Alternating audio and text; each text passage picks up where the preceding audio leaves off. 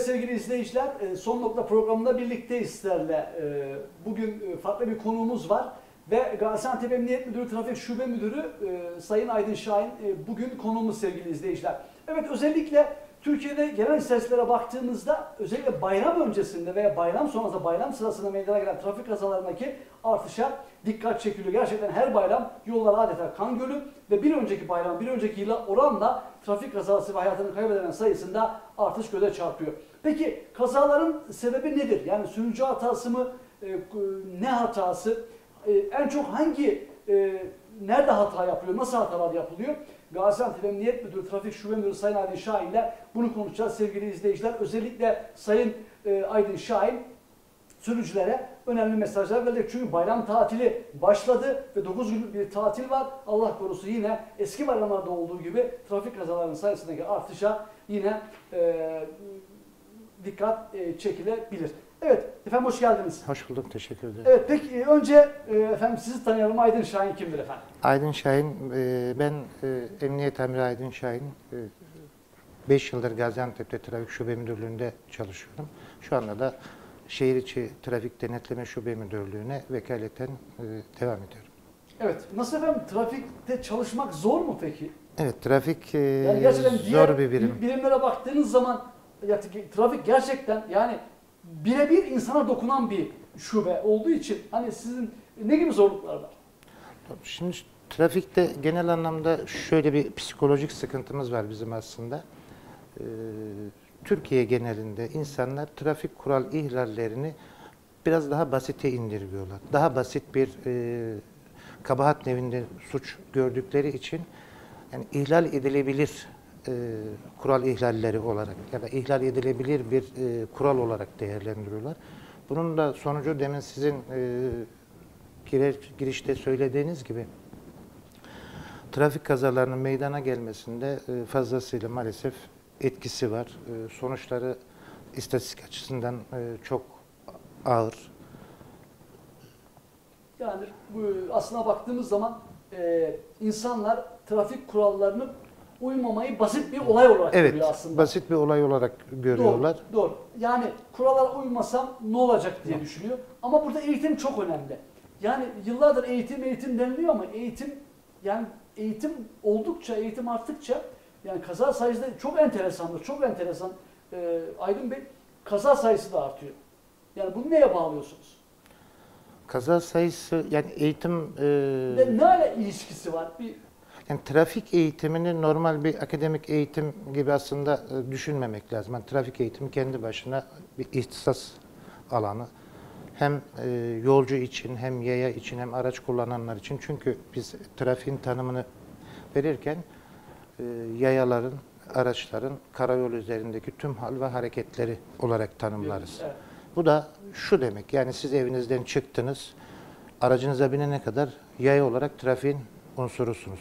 Aracınıza bindiniz veya toplu taşıma aracına bindiniz. Ya sürücü olarak ya yolcu olarak yine trafiğin elemanı olarak devam ediyorsunuz. Dolayısıyla gününüzün e, büyük bir kısmı aslında trafiğin içinde ve trafik bir unsuru olarak devam ediyorsunuz. Bu anlamda hem yaya olarak hem yolcu olarak hem de sürücü olarak bütün kuralları bilip e, kurallara uymak lazım. Bu da e, trafik kültürünün yerleşmesiyle biraz daha mümkün gibi gözüküyor. Hani akademik eğitimin e, dediğim gibi kural ihlaline çok bir etkisi maalesef e, saptanmış bir şey değil. Yani akademik olarak bir eğitim e, alınmış olması. Yine e, baştan söylediğime döneceğim ben. E, trafik kural ihlallerini e, biz maalesef e, çok basite alıyoruz. Yani tolere edilebilir aslında kural, e, hata olarak mı görüyoruz diye düzelteyim. Ama e, bunun sonucunda da işte kaza istatistiklerimiz, her şeyimiz de zaman ortada. zaman tolere edilmiyor ama o kazalara Edilmiyor, tabii, elbet. maalesef. Bakın geçen e, Gaziantep Nizip arasındaki bir yolda iki vatandaşımız maalesef hayatını kaybetti. Sabah saatlerinde Sabah saatlerinde gelen. evet. E, sollama, hatalı sollama yüzünde karşıdaki gelen araçların hı, pozisyonunu görmeden öndeki aracı geçmeye çalışması neticesi iki vatandaşımız hayatını kaybetti. Maksimum e, belki kendine kazandıracağı zaman iki ya da üç dakikadır. 2-3 dakika 2-3 için dakika hayatına için evet bu. iki tane e, gencin ki doğum tarihleri de genç Evet. ve iki tane gencin hayatına mal oldu. Zaten trafiğin e, dünya genelindeki tanımında birinci derecede medeniyet göstergesi, ikinci derecede de her zaman sabır tavsiye edilir. Sabır trafikteki bir ölçüdür. Ne kadar sabırlıysanız trafikte o kadar kendinize hakimsiniz, çevreye daha duyarlısınız ve Can güveniniz can güveniniz değil. değil. Evet. Yani trafiğin temeli sabırdan e, kaynaklı. Bizim vatandaşımız çok sabırsız ama. Evet. Evet, yani özellikle şimdi Gaziantep'e gelirsek e, hemen bayramlardan girmişken e, Gaziantep'te e, Kurban Bayramı ile ilgili alınan ne gibi trafik tedbirleri var efendim? Kurban Bayramı'nda bizim e, her sene e, zaten e, standart aldığımız bazı tedbirler var. Bu sene onlara ilaveten e, kurban kesim yerleri, e, kurban satış yerleri, bayram için kurban kesim yerleri, bayram öncesi için kurban satış yerleri, üç tane büyük alışveriş merkezinin çevresi, işte Gazi Muhtar, Karagöz, Mütercim Asım gibi vatandaşlarımızın yoğun olarak alışveriş yaptığı yerlerin tamamında ekiplerimiz e, planladık. E, Herhangi bir aksaklığa inşallah meydan vermeden hem trafik akışını hem yaya güvenliğini sağlayarak bayram arifesini ve bayramı atlatacağız. Peki efendim sizin en çok trafikte e, yani Gaziantep'te trafikte yaşadığınız sıkıntı nedir özellikle? Karşılaştığınız en büyük sıkıntı. Karşılaştığımız en büyük sıkıntı şu anda park problemi e, Bu gözüküyor ana Gaziantep'in kanayan bir yara, Yara, herkes evet. yani dışarıdan gelen insanlar bile bunu söylüyor. Yani park sıkıntısı var. Bir de yani hatalı park, yasak olan yerlere çok sayıda park yapılıyor. Evet aslında Bunu niye, niye önüne geçilemiyor bunun efendim? Park sıkıntısı derken e, mesela özellikle bu e, Karagöz Caddesi'nde Gazi Muhtar'da ve Muammer Aksoy Bulvarı'nda Bulvarı. parkla ilgili e, daha çok sıkıntılarımız var. Aslında yeterince bu bölgede de otoparklarımız Var, var. var, evet. evet. Yani mesela Karagöz için bir örnek vereyim. Karagöz'den Şıhcan'dan tekrar doğum evine, Elmacı Pazarı'nın oradan dönüp doğum evine gelen e, bölgede 27 tane irili ufaklı veya çok katlı, dördü çok katlı olmak üzere e, otopark var. Ve bu oradaki araç sayısını fazlasıyla kaldıracak e, bir sayı. Otoparklarla ilgili sıkıntı yok. Ancak e, Alışkanlık. Hayır parasal olarak düşünüldüğünü zannetmiyorum. Bu bir e, alışkanlık. Yani hatalı yani park yasağı olan bir yere park ettiğinizde zaten biz 88 lira ceza yazıp aracınızı çektiriyoruz. Yani maliyet olarak vatandaş bunu düşünse belki daha fazla maliyetle karşılaşacak. Ya, Ama e, bu işte bir alışkanlık gibi Kültür gelmiş. efendim, Evet kültür. Yani trafik e, işte kurallara uyma e, Türkiye genelinde de ya da dünya genelinde de e, gerçekten trafik e, kültürle alakalı bir şey, davranışla alakalı bir şey.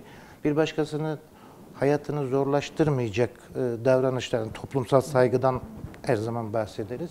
Trafik bunun için aslında en önemlisi olandır. Çünkü eğer e, siz başka insanlara saygınız varsa o insanların geçiş yolunu kapatmayacaksınız. O insanların seyir istikametlerini kapatmayacaksınız.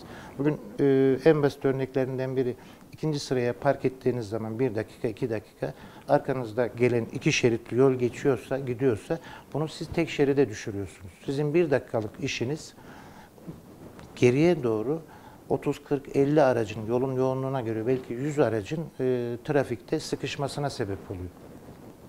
Çift araçlı parklar da çok büyük sıkıntı efendim. Yani özellikle peki bu hatalı park dediğiniz daha çok hangi bölgelerde efendim? Cadde olarak daha çok nerede rastlıyorsunuz bunlara? Şu anda e, bizim bir pilot çalışmamız var zaten bununla ilgili. Yaklaşık iki aydır sürdürdüğümüz. Hangi bölge efendim? Bu Grand Otel'den Muammer Aksoy, Karagöz Caddesi, e, Atatürk Bulvarı, Evet. Nil Kavşağı'na Nil kadar Kavşağı'nın olan kısım. Kısım. Bir de Gazi Muhtar Paşa Bulvarı'nın tamamı Çetinkaya'ya kadar olan Evet. kısımda iki aydır e, sürekli bir çalışmamız var. E, bayağı da netice aldığımıza inanıyorum ben. E, çünkü bin Yani anında müdahale mi efendim? Anında müdahale. Anında müdahale, anında evet. Çekme amacı hemen. anında çekiyoruz. Yani E, Artık şey yok yani tamam o e, sileceği kaldırıp da beklemek yok. Hayır hayır. Şimdi zaten buradaki e, bizim çalışmamızın temelinde e, daha önce inceledik biz. E, otobüs duraklarına park etme, ikinci sıraya park, kavşak içi parklar ve engelli parkları ön plana çıkmıştı. Bununla ilgili biz bir ön çalışma yaptık hani problemi tanımlamak adına. E, ve e, Zabıta Daire Başkanlığı'yla görüştük. Kaldırım üstü parklarla, e, motosikletlerin ve araçların kaldırım üzeri parklarıyla ilgili de Zabıta Daire Başkanlığı'yla çalışıyoruz. Yani sonuçlarımız aslında iyi. İki ay içerisinde gözle görülür bir Yani değişim, düzenleme biraz oldu. boşaldı mı efendim? Boşaldı. Yani en azından alışkanlıklar değişmeye başladı. Biraz, Öyle diyeyim. Biraz şöyle caydırıcılık e, önemli bir Elbette. şey yani. unsur. Elbette zaten e, Karayolları Trafik Kanunu'nun e, 61. maddesi çok açıktır. Bu konuda 61'in kendi içinde bentleri vardır. Otobüs duraklarına yani hatalı park yerlerinde normalde mesela yarım saat e, müsaade edersiniz ceza yazıp genel müdürlüğün böyle bir uygulama talimatı var ancak özürlü park yerine otobüs duraklarına ve kavşaklara 5 metre kala e, alana park edildiği zaman Kesinlikle- kesinlikle, ceza yazıp anında çekilir araç. Yani Ne- orada süre sınırı yok. Peki, Anında çekeriz. Diğer alanlarda trafik polis arkadaşlarımızın müsamaha gösterme yetkisi var mı? Hayır. Yani şöyle ba- bazı yerlerde hani o kadar çok trafik sıkıştıracak bir alan değil. Ama park etmiş oraya. İşte orada biz park yasağı olup olmadığına, şimdi şöyle e, park yasağı uygularken bu demin saydığım kanun maddesiyle beraber yol üzerinde işaretlemeler vardır. Bir durma duraklama park etme yasaktır levhası vardır bu çarpı olarak bildiğimiz. Bir de park etmek yasaktır diye tek e, çizgiyle gösterilen işaret vardır. Park etmek yasaktır denen yerde 5 dakikaya kadar müsaade edilir. 5 dakika içerisinde o duraklama olarak geçer kanunda.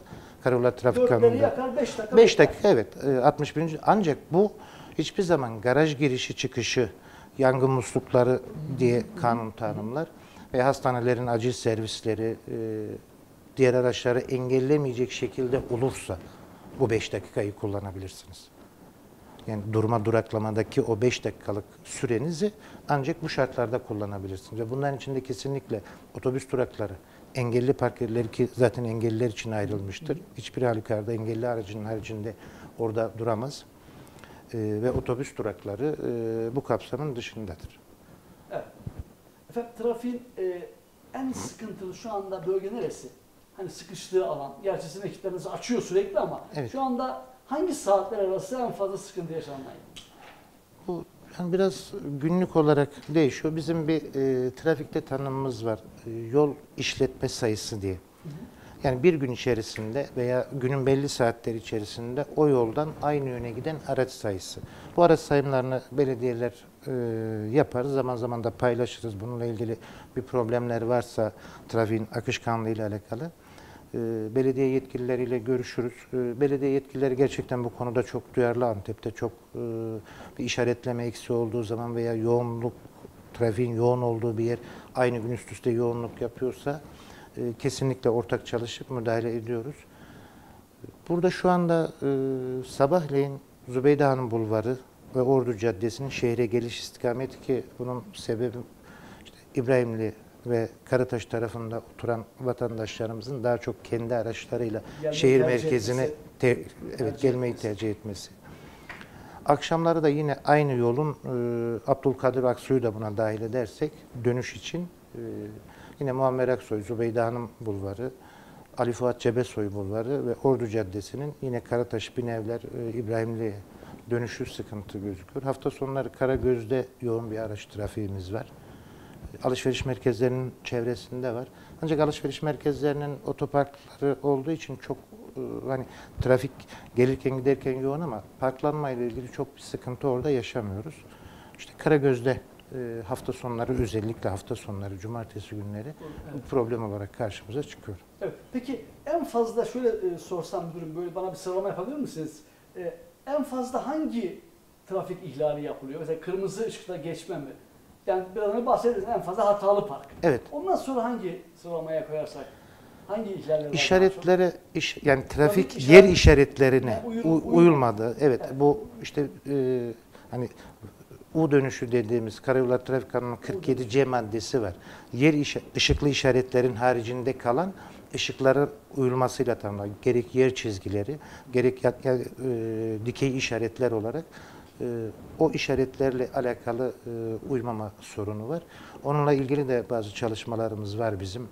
Mesela e, burada en çok karşılaşılan ya da şikayete konu olan e, kural ihlallerinde işte sağ şeritte durup veya orta şeritte durup sol şe- sol tarafa dönme eğilimi ya da trafiği tıkama ile alakalı evet burada e, Gaziantep'te en çok şikayete konu olan Adam ihlallerden evet, sola dönmeye sola çalışıyor. dönmeye çalışıyor veya karar değiştiriyor. E, bu karşımıza çıkıyor. E, üç kavşağımızda Grand Otel'in olduğu kavşakta, Çetinkaya'da e, ve e, SSK kavşağında, sigorta kavşağında bununla uygulama bununla alakalı uygulamalarımız da var. E, kesinlikle biz müsaade etmeyeceğiz. Yani öyle bir durumda sürücü eğer sağ şeritte durup da sola dönmeye çalışır ise bu su, Cezadır, ceza, tabii. Bu ceza müdürü? Tabii. Ceza. Karayolları Trafik Kanunu'nun e, 57. maddesi var. Kavşaklara yaklaşmak 52 ve 57 iki maddesinde farklı farklı tanımları var. 52. maddesi kavşaklara yaklaşmayı tanımlar. Burada da kavşaklara 30 metre kala şerit değiştirmesini kanun yasaklar. Yani bir kavşağa gidiyorsunuz. Eğer kavşağa 30 metre kaldıysa kesinlikle bulunduğunuz şeridi artık hiçbir halükarda değiştirmeyeceksiniz. Eğer sinyal verdiyseniz sağa ya da sola dönüş sinyali verdiyseniz ki sağa dönecekseniz sağa, sola dönecekseniz sola 30 metreden önce yanaşıp e, o şeride girmiş olmanız gerekiyor. Yani sola dönecek bir sürücü döneceği kavşağa gelmeden 30 metre önce sol şeride yanaşmış olmasını olması ve işaretini vermiş olması gerekiyor. Bu anlamda 30 metre kala e, şerit değiştirmesi yasaktır. Eğer sinyal verip de bir manevraya başladıysa bundan vazgeçmesi de yasaktır. Evet. Yani eğer verdiyse bas, Kesinlikle tabii kavşak içerisinde çünkü e, şöyle Arkada bir kişi kendini ona göre evet biz düşünüyorsunuz. Evet. biz bi- yani kanun öyle düşünüyor ki bizim e, Bülent Bey Karayolları Trafik Kanunumuzun özellikle e, akan trafiği denetleyen maddeleri 46. maddeden e, 80. maddeye 79. maddeye kadar olan kısmı dünya genelinde kullanılan evrensel trafik kurallarıdır. Yani bugün sağdan direksiyonla ya da sağdan e, trafiğin aktığı bütün ülkelerde bizdeki kanunlar aynıdır. Yani İngiltere'de dün- de aynıdır. tabii, İngiltere- İngiltere soldan hani aslında kural yine aynıdır. Yani biz mesela sola dönüşte e, diyelim ki sola dönüş yapıyorsunuz. Sola e, geniş kavisle dönmek zorundasınız. İşte orada trafik soldan e, aktığı için e, bunun tersi dar kavisle dönmek zorunda kalıyor. Ama kural olarak genel tanım kural olarak, e, mantalite olarak aynı. Sağa dönüşünüzü dar kavisle yapacaksınız. Çünkü döndüğünüz istikamette trafik sağdan aktığı için döndüğünüz yolun sağına girmiş olmak zorunda. Karşıdan gelen trafiği engellememek adına kurallar bunun için konmuştur zaten. Evet. Peki e, özellikle e, şehir içine sor, şehir içi için soruyorum amirim. E, hız limitleri konusunda zaman zaman vatandaşlardan çok yoğun şikayet geliyor. Evet. Şimdi adamın altında son model bir araba var. Ama bakıyorsunuz hız limiti 60, gerçi 70 oldu şu an yanılmıyorsam. Ana arterlerimizde 70 evet. oldu. Yani bu hız ihlalleri konusunda yine uyulmama konusunda şu an nedir efendim? Biz tabii radarla hız kontrolü sürekli yapıyoruz. Yapıyorsunuz. Evet. E, ortalamada günlük e, yani 24 saat 24 saat. Boyunca gece ve gündüz dahil buna e, 14 saat, 16 saat radar kontrollerimiz var. 120-150 araç arası e, radara giren şey araç var. yapıyor. Evet, ortalamamız bu ancak hızla ilgili gelen şikayetleri biz şöyle değerlendiriyoruz ya da cevabımız şudur. Şimdi aracın e, çok güzel olması ya da çok sağlam olması, yeni olması, Hız yolların çok güzel, evet. Çünkü dünyanın en güzel araçlarını Almanlar yapar. Yani bu artık e, dünyada bilinen bir gerçek. Bizdeki hız limitleriyle Almanya'daki hız limitleri de aynı. Yani dünya genelinde hız limitleri totalde aynı, çok değişmiyor. Bunun e, hız limitleri konurken bunun temelinde fizik kuralları var. Yani belli bir e, bilimsel araştırmalar yapılmış. Bir anlatır mısınız, açıklar mısınız? Nasıl mesela? Evet. Şimdi şöyle bir 50 ile giden bir araç şehir içinde ortalama hız limiti 50'dir. Evet. Yani genel anlamda 50'dir. Bazı ana arterlerde e, 70'e 70'e çıkarılıyor. 50 ile giden bir aracın e, işte durma mesafesi, sürücünün tepki verme mesafesi veya sürücünün görmesi, görünürlükle alan, alakalı olan kısımların tamamı toparlandığı zaman bu hız limitleri bilimsel çalışmalar sonucunda dünya genelinde kabul görmüştü. Şöyle bahsedeyim size. 50 ile giden bir sürücünün durma mesafesi ne kadardır? Şehir içindeki e, normal izin verilen e, yasal hız limiti. 50. 50 ile giderken bir araç e, Ben yani 13-14 metre sonra dur, dur ba- amirim bastığınız zaman bence yani. işte duramıyorsunuz. Çünkü e, 50 ile giderken aracınız saniyede Tamam. 13.80 yani 14 metre civarında bir yol gidiyor. Metre bölü saniye. Fizik kuralı bu e, tartışılacak bir şey değil. Yani saatte 50 kilometre hızla giden bir aracın saniyede kat ettiği mesafe yaklaşık 14 metredir. Siz durmak için e, karşınızda bir problem oldu. E, durmak için harekete geçtiniz. Ayağınızı gazdan çektiniz, frene bastınız. Bir saniyede lastiklerinizin fren tuttuğunu varsayarak konuşuyorum ki ortalaması böyledir zaten. Yani çalışmanın sonucu budur. Bir saniye sonra lastikleriniz fren tutmaya başladığında zaten 14. metrede siz frene bastıktan 10 14 metre sonra aracınız fren tutmaya başlayacak. Bundan sonrası içinde yolun e, durumu yani ıslak kuru oluşu, zeminin durumu, lastiklerinizin durumu, aracınızın bakımıyla olan e, bakımıyla ilgili olan e, kısımların hepsi devreye girecek ve durma mesafeniz buna göre belirlenecek. Ki ortalamada durma metre mesafesi yaklaşık 30 metreyi buluyor. 50 ile 50 ile giderken evet 30 metre. Evet kazık fren mesafesi diyoruz. Biz buna kazık fren diyoruz. Yani rahat, e, relax bir fren değil. Panik fren de e, deniliyor. Çektiniz ayağınızı gazdan, frene yapıştırdınız ve ayağınızı hiç frenden kaldırmadınız.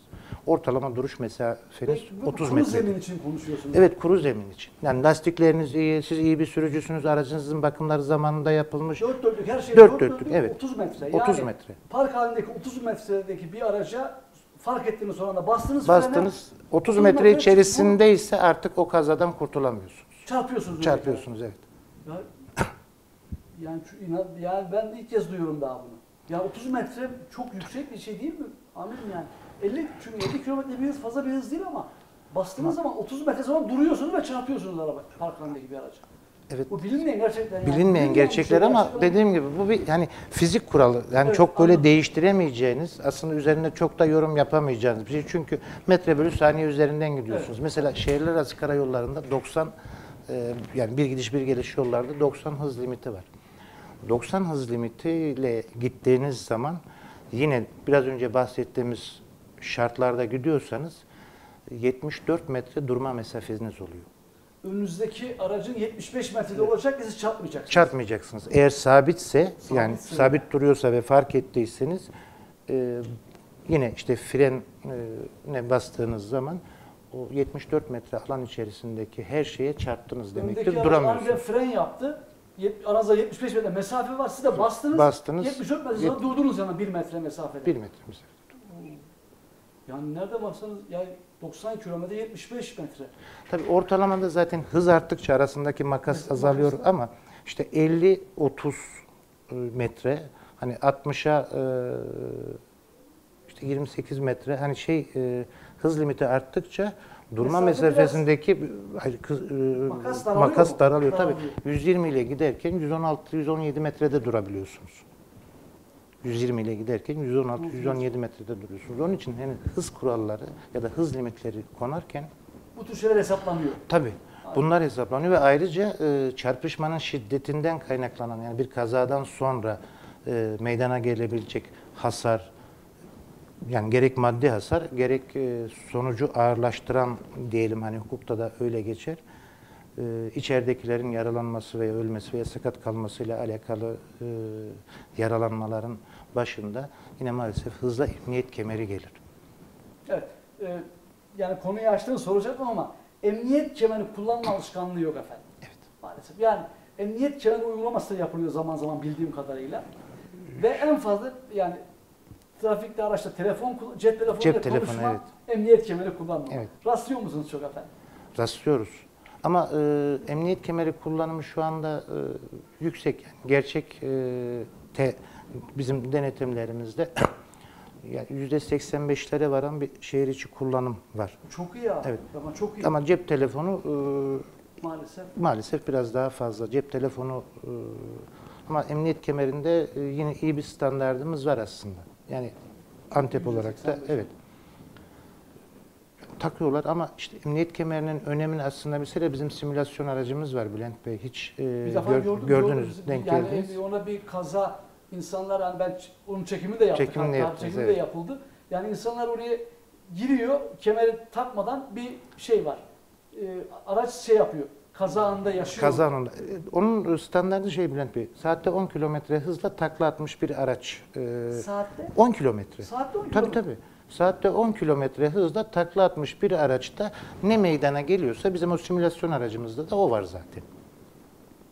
Yani o zaman yani emniyet kemeri gerçekten yüzde 90 hayat kurtarır mı? Evet. Amirim yani gerçekten. Yani e, hız saklı Görev, kalmak üzere evet. yani şöyle araç içi savrulmalar e, veya aşırı derecede aracın parçalanması hani çarpışmanın şekli açısı ya da neyle çarptığınıza çarpıştığınıza bağlı olarak özellikle tek taraflı e, taklalı kazalarda sabit cisme veya başka bir cisme çarpma trafik kazalarında emniyet kemerinin bugüne kadar ölçülen %78 hayat kurtarma oranı var.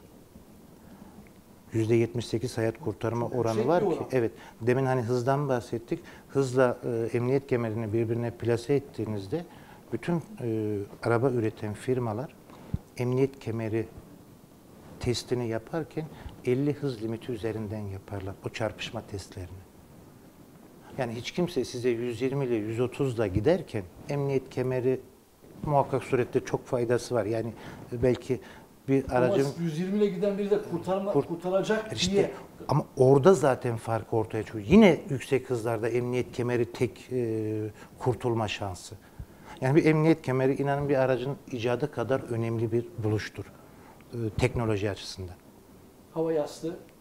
Yani hava yastığının çok ölçülen e, Şey- bir şeyi yok. Hani karşı çarpmalarda, e, direkt çarpmalarda ilk andaki e, cama veya direksiyona doğru olan darbeyi engelliyor ancak emniyet kemeri olmadıktan sonra yani hava yastığının veya e, sayır güvenlik elemanlarının hiçbir e, Yani önemi yok. takmadıktan sonra hava yastığı istediği kadar açılsın. Açılsın hiç fark etmez. Şöyle düşünün yani bir kazayı e, gözünüzde canlandırdığınızda belki e, televizyoncu olarak, gazeteci olarak da sürekli trafik kazalarına gitmişsinizdir, evet, çekim evet. yapmışsınızdır. Kaza yerlerinde ölen vatandaşlarımızın çoğunda e, gözünüzün önüne getirin. Çok bir parçalanma olmaz, çok bir kan çıkmaz ama hepsi İç kanama, vefat. iç. İç kan. Bu da emniyet kemeriyle alakalı e, işte emniyet kemerinin önemini ön plana çıkarır. Şöyle araçlar çarpıştığı zaman içerisindeki hava basıncından dolayı kapıları açılır. İçerideki ilk ilk etap evet ilk etapta kapılar açılır. Eğer sabit bir cisme doğrudan çarpmışsa da arka lastikler havalanır. Yani aracın yine o çarpma hızıyla beraber aracın uzunluğu kadar yük transferi dediğimiz aracın ağırlığı o hızda e, ön taraftaki e, çarptığı her neyse nesne yani araç olur işte sabit kaya olur neyse o kadar sürece oraya yük transferinde bulunur. Aracın arkası havalanır, kapıları açılır, tekrar örtülür ve düşer. Ondan sonra artık zemine göre, çarpışmanın şekline göre savrulur. Bu ilk çarpışmada kapılar açıldığı zaman kemeriniz yoksa zaten araç dışına savruluyorsunuz.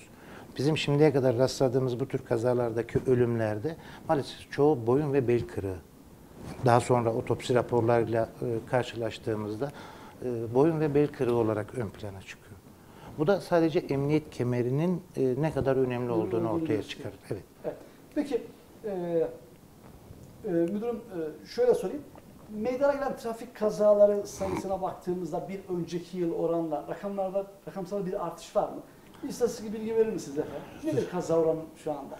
Rakamsal olarak bu yıl için Bu yıl yani için, yani evet, bu 2015 yılında bizim Yani geçen yıl oranla nedir durum? evet bizim il merkezinde e, 18 tane ölümlü kazamız var. 3242 ne- e, düzel e, 2258 tane yaralamalı kazamız var. 3242 tane de yaralanan vatandaşımız var. Geçen yılın rakamlarına göre ortalama %4'lük bir kazalarda artışımız var. Fazla bir artış değil aslında. Fazla bir artış değil. yani. Evet, e, çok fazla bir artış değil. Araç sayılarımızda biraz e, Onu yüzde soracağım ölüm evet, yani hayatını kaybedenlerin sayısı kaç kazalarda? 19 kişi. 19 19 kişi. Bu yılın içerisinde 19 kişi Evet, hayatını 15 kaybetti kazalarda. Evet. Yani e, 2015 14'e yılı içerisinde 2014-2015 içerisinde bu yıl Evet. yılbaşından bu yana. yılbaşından bu yana 2014'ün rakamı 27. Yani Kaza bu yıl- yerinde yani vefat eden bir, ölü sayısı. tüm yıl boyunca. tüm yıl boyunca. Evet. Yani %4'lük bir artış pek bir artış değil ama Yani çünkü- bugüne kadar olan istatistiğimizde geçen yılın aynı zamanlarıyla kıyaslamada %4'lük e, totalde bir artışımız var. Evet. Ee, Aydın Bey, e, trafiğe her ay katılan araç sayısının yaklaşık 4000-4500 olduğu söyleniyor. Gaziantep için söylüyorum. Yani Evet. günde ortalama 120 ile 150 arası araç trafiğe katılıyor. Şu anda kayıtlı araç sayısı ne kadar Gaziantep'te? Şu anda bugün bugün, Bugün itibariyle evet bugün itibariyle 458.700 tane kayıtlı aracımız var. 458.700 tane var. Özellikle motosikletlerle ilgili zaman zaman çok şikayet Evet. geliyor. Yani bu motosikletlerle ilgili, gerçi hani kask zorunluluğu var aslında. Kask takmak zorunda. Zaman zaman kask uygulamanız oluyor. Ama baktığımız zaman şimdi bana gelen en çok şikayetleri söylüyorum amirim. Size mütercim alsın ve Gaziler Caddesi'ne Gazi- motosikletle, motosikletle girilmez, şey. evet. Ya vatandaşlar çok esnaf vatandaş. Sadece bu yani bazı yerlerde Şırkcan'da ya bununla nasıl mücadele ediyorsunuz? Yani adam kısa yoldan yoldan gitmiyor. Aradan geliyor motorla. Evet Şirçan'dan Evet, gidip doğru. mütercümansıma. Bunlarla mücadele nasıl yapıyorsunuz? Bizim orada her gün gün aşırı uygulamamız var. Ee, zapta görevlileriyle beraber, zapta daire başkanı e, arkadaşla daha önce bir planlama yapmıştık. Bu e, turistik çarşının önündeki Evet. pasajların e, kaldırım parklarıyla Evet. ilgili ve gaziler mütercümasındaki motosikletlerle ilgili ben e, şöyle size sadece bu iki ay içerisinde yaptığımız çalışmaların e, şeylerini verebilirim. Toplam 3410 tane araca e, motosiklete sadece o dediğiniz alanda son iki ayda son iki ayda sadece o dediğiniz alana girmeye çalışan araçlara evet. Motorlara- Motosikletleri evet. Sadece o e, alana girmeye çalışan motosikletlerin 3410 tanesini 681.412 lira para cezası yazmışız. 219 tanesini de çekiciyle otoparklara çekmişiz. Sadece o dediğiniz alanda. Bizim uygulamalarımız sürekli devam ediyor orada. Sürekli devam ediyor. Evet. Yani bu rakam aslında e, iyi bir rakam. Yani şöyle iyi bir rakam. Sadece iki yol üzerinde yaptığımız çalışmanın neticesi bu. Son zamanlarda zaten e, eskisi kadar aslında şikayet gelmiyor. Orada genel bir memnuniyet var. Biz iki aydır sürekli orada belediye e, işte zaptı ekipleriyle birlikte veya kendi başımıza sürekli çalışıyoruz orada. Son e, 20 gündür öyle diyeyim. e, Çok aslında bir şikayet gelmedi bize. Her gün takip ediyoruz biz Uygulamadan orayı. dolayı, Tabii. e, Uygulamadan dolayı, pek denetimden dolayı. Caydırıcılıktan dolayı pek yani şikayet gelmiyor artık. Yani eskisi kadar Eskisi gelmiyor. kadar Ama gelmiyor. tabii biz aynı kararlılıkla devam edeceğiz orada. Yani orada o problemi bitireceğiz. Orada Evet. o problemi bitireceğiz. Evet. Efendim şimdi e, e, hemen Kur- Kurban Bayramı ile ilgili özellikle sizin hani 9 günlük tatilde Evet. insanlar aileleriyle tatile gidiyorlar. Şimdi e, bir sürücü kaç saat en fazla araç kullanabilir? Şimdi zaten e, özellikle ticari araç kullananlar için e, Karayolları Trafik Kanunu 49. maddesinde tanımlı bir e, Otobüs ve minibüs için diyorsunuz değil mi bunlar? kamyon. Otobüs, kam- otobüs ve otobüs, kamyon minibüs, ticari amaçlı. ticari amaçlı yük ve yolcu taşıyan Evet. herkes için ki bu da yine e, dünya geneli e, mecbur olan bir kullanımdır. Yani dünyada aynı saatler geçerlidir. Herkesin uyduğu bir kuraldır. Bizim Karayolları Trafik Kanunu 49. maddesi de ticari araç kullananlar en fazla bir gün içerisinde 9 saat araç kullanabilirler. Bir günde. Bir gün yani 24 saat içerisinde hangi saatte kontak açtıysa o onun mesai başlangıcı 4,5 sayılır. saat kullanacak, dinlenecek. Dinlenecek 4,5 saat. saat daha kullanacak. Böyle. Bir daha e, asla kullanmayacak. Ve gün içinde onu öyle bir kullanmak zorunda ki e, biz bununla ilgili daha önce otobüslere veya e, e, yük taşıyan ağır vasıta şoförlerine eğitimler vermiştik. Onu öyle bir kullanmak zorunda ki haftada 3 gün 11 saat, 3 günde 8 saat kesintisiz olarak dinlenmek zorunda. Zaten bölge trafik ekiplerimiz bu e, bayram münasebetiyle otobüslerin üzerinde ve bizim e, otogarda trafik denetleme noktamız var. Gelen ve giden bütün otobüs şoförlerinin alkolleri alınarak e, denetleniyor. Takograf raporlarına bakılıyor. Ne kadar araç kullanmış, kural ihlali yapmış mı, kaç saat araç kullanmış ve kaç kilometre yol gitmiş. Tamamını e, takograf raporları üzerindeki verilerden biz alabiliyoruz zaten. Görüyorsunuz orada. Tabii. Yani buradan e, diyelim ki Kayseri'ye e, giden bir sürücü veya iki sürücü kim hangi saatler arasında kaçıncı kilometrelerde ve kaç saat araç kullandığını ve hangi hızlarda gittiğini zaten takograf raporu üzerinde görebiliyoruz. Yani burada güzel ve sıkı bir denetimimiz de var zaten. Sürücüler de buna e, aslında daha Genelde uygun riayet riayet ediyorlar. ediyorlar. Özellikle son dönemde otobüs e, şoförlerinde, otobüs sürücülerinde, otobüs şoförlerinde bu kural biraz daha oturdu. Biraz daha dikkatli, biraz daha e, sabırlı gidiyorlar diyeyim. Biraz daha kurallara bu anlamda uyuyorlar. Çünkü hani demin dediniz ya bir insan ne kadar araç kullanabilir? Bu aslında e, şoförler için, ha biz trafikte şunu ayırırız. Sürücü, ticari araçları kullanmayanlar, ticari araç kullananların da kanundaki tanımı şofördür. Hani biz ağır vasıta şoförleri olarak konuşuruz. Ama diğer e, özel araçlarıyla Özel araçlara evet mesela özellikle bu konuda bir uyarı yaparsanız bu çok önemli. Hani onlar bundan sürekli denetim altında ama adam özel aracına biniyor 10 saat araç evet bunun bir denetim ve- mekanizmamız maalesef yok. yani. Yok. Ne öneriyorsunuz yani ailelere, sürücülere, Şimdi burada dikkat tatile çıkacak olanlara, uzun Evet. yola gidecekler efendim özellikle? Evet, burada dikkat etmeleri gereken şey, bunu e, tabi sağlık çalışanlarından da bu bilgiyi daha rahat alabilirler. Vücutta Bir insan- evet. var? Yani ben onu Bir insan 2 saat boyunca oturduğu zaman veya 2 saat boyunca araç kullandığı zaman ortalama veri %60 kan dolaşımının düştüğü. %60 kan dolaşımınız düştüğü zaman dikkatiniz, refleksiniz veya tepki vermeniz de %60 düşüyor. Yani %60, %40'lık e, kalıyorsunuz.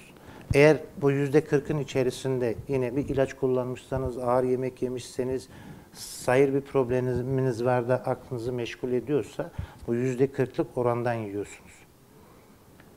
Bunun için de e, özel otomobil sürücülerine biz 2 saatten fazla ya da 200-220 kilometreden fazla bir e, oturumda araç kullanmamalarını tavsiye ediyoruz. Yani 2 dakika, 3 dakikalık bir dinlenme, bir araçtan bir dakikalık inip bir hareket etme, yani pozisyonunu değiştirme muhakkak suretle e, kendilerine çok büyük faydası olacaktır. Dikkatleri dağılmayacaktır.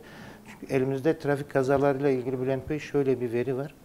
600-800 kilometre yol giden e, özel otomobil sürücülerinin yaptığı kazalarda varış noktalarına yani meydana gelen kazaların yüzde 68'i varış noktalarına 100 kilometre kala meydana gelmiş. Yani, Yani 600 kilometre 600-800 kilometrelik, 500, evet. 500, 500'ü kilometre normal kaza gidiyor. meydana geliyor. Evet 500 kilometre veya 600 kilometre arasında yani varış Neden- noktaları. Yani nedir yani sonuç Bunun temeli yine yorgunluk. İşte Yorgunluk. hani biraz önce o ticari araç kullanan şoförler için e, kanunun getirdiği zorunluluk, e, dünya genelinde uygulanan zorunluluk, özel otomobil sürücülerinde de aynı e, bunun e, yani aynı versiyonunu aslında görüyoruz. Bölge Yani- trafikteki peki o yoldaki mesela Ankara Aksaray yolunda trafikçi arkadaş bölge trafikte bir polis durduğu zaman beyefendi dinlendiniz mi? Tabii o Onlar, o sohbetler yapılıyor mu o yollarda? evet onunla ilgili bölge trafik ekiplerimizin e, her bayram öncesi Uyarısı e, oluyor. uyarısı oluyor. Özellikle sabaha karşı işte aracın plakasına bakarak hani uzun yoldan gelip gelmeden plakaya göre e, anlayarak arkadaşlar durdururlar. Genelde su ikram ederler sabah 4-4,5 saatleri arasında ki bizim e, gece olan kazalarımızın yoğunluğu akşam 7-8 şehirler arası karayollarında sabah da 4-5 yani ortalaması öyledir. Kaza saatleri genelde. Kaza saatleri genelde evet. o- Akşam e, yani 7, 8, 9 hani sabahleyin çıkmış bir insanın aslında bittiği nokta gibi. Hani erken çıkmış yola benim bitti veya akşam çıkmış öğleden sonra çıkmış adam işte sabaha karşı bittiği nokta. Arkadaşlar genelde durdururlar. Su e, şey orada e, şartlar uygunsa çay ikram ederler. Biraz dinlendirirler, bir hava aldırırlar. Veya gerçekten çok yorulmuş artık gidemeyecekse uygun bir yerde birkaç saat istirahat etmesini sağlamaya yönelik e, bir çalışma içine girerler. Öyle bir tavsiyede bulunurlar. Yani genelde özel araç sürücüleri en fazla 220 kilometre gittiği zaman bir 2-3 dakika dinlenmek zorunda. Dinlensinler yani. Dinlensinler Önemlisi evet. bu. Evet kesinlikle dinlensinler. Çünkü dediğim gibi hani bu yüzde 60 kan dolaşımı azalıyor diye elimizde bir bilimsel veri var. Bununla beraber trafik kazalarının analizinde de işte 600-800 kilometre aralığındaki yollarda son 100 kilometre içerisindeki yüzde 65 kaza yapma oranımız var. Bu da insanların yorulduğunu, artık aslında dayanamadığını gösterir. Şöyle bir e, şey daha ekleyeyim ben buna. Şimdi şoför olarak çalışan yani ticari araç kullananların sonuçta mesleği o. Biraz daha hem psikolojik olarak hem alışkanlık olarak hem fiziki olarak biraz daha aslında araç kullanmaya dayanıklılar. Ancak e, özellikle e, devlet memurları yani Doğu Batı işte öğretmen, polis, asker, sağlık çalışanı uzun süre araç kullanma kültürü veya tecrübesi yok. Yola çıktığı zaman tamam aracı kullanabiliyor ama e, bu aracı kullanmaya ne kadar dayanabilir? Kendisi buna ne kadar yeterlidir? Ne kadar alışmıştır? bilincinde değil. Bilincinde değil evet. Bugün siz e, sabahleyin işe geliyorsunuz 2 kilometre, akşam evinize gidiyorsunuz 2 kilometre. Günlük 4 saat araç kullanıyorsunuz. İşte 4 kilometre araç kullanıyorsunuz. Bu size ne kadar tecrübe veya ne kadar alışkanlık kazanır veya vücut için ne kadar bu kabul edilebilir bir şey olur. Bunları e, düşündüğünüz zaman ve e, otomobil sürücülerinin, yani küçük araç sürücülerinin özellikle şehirler arası giden küçük araç sürücülerinin aslında çok da uzun e, süre araç kullanma güdüleri veya tecrübesi veya vücut alışkanlığının olmadığını görüyoruz biz. Evet. Efendim çok güzel bilgiler verdiniz. Çok teşekkür ederim. Süremiz daraldı. E, Sizin buradan son olarak bayram önce e, bayramla ilgili e, yola çıkacaklara veya vatandaşlara ne gibi mesajınız var efendim? Bizim tabi trafik polisi olarak her zaman e, hız kurallarına uymalarını tavsiye ederiz. Emniyet kemeri takmalarını tavsiye ederiz. Çünkü hızla kaza arasında, yani trafik kazası arasında güvenlik olarak da hızla emniyet kemeri e, arasında çok büyük e, bağlantı var. Hızlı gitmesinler. Yorgun araç kesinlikle kullanmasınlar. İlla varacağım diye, gideceğim yere varacağım diye ki demin verdiğim istatistikte son 100 kilometre çok önemlidir.